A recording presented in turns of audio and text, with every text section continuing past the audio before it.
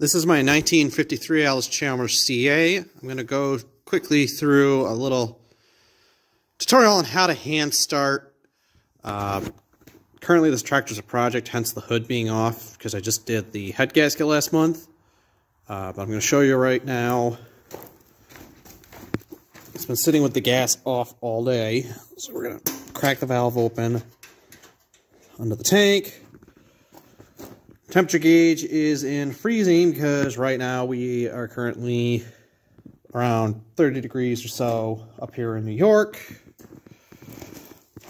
Tractor's been sitting all day, unlike the short that I made a few days ago, where I had been running the tractor around for about an hour or two doing some odd jobs with it.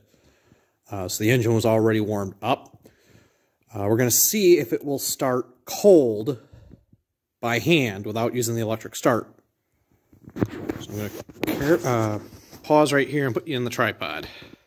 All right, I'm going to turn the key on.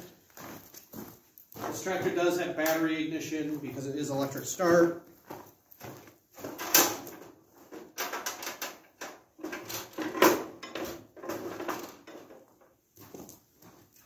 set, full throttle, or full choke, quarter throttle, maybe third, third throttle.